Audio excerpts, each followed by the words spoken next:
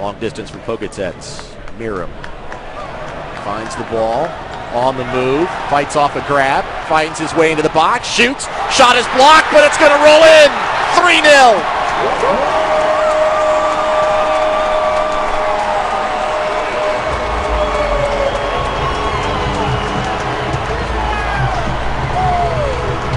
Well, this is simply cataclysmic for Philadelphia. It's Meram winning a 50-50 with Maurice Edu, who's shown signs of frustration tonight. The nifty footwork and the trials and tribulations of a young keeper. I do loved loving to roam and he's isolated there.